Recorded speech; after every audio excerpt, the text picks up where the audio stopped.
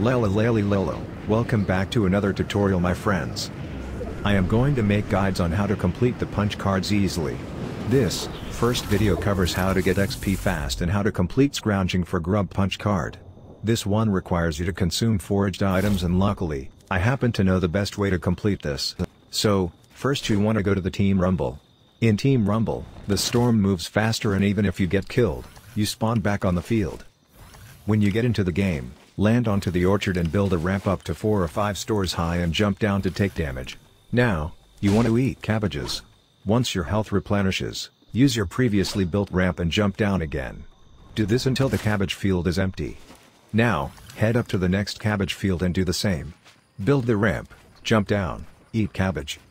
As I said before, in Team Rumble, the storm moves faster and usually the center of the storm will move close to the authority. In this situation, the storm is your friend. Why? Because, now you are taking continuous damage and that helps you on eating the cabbages.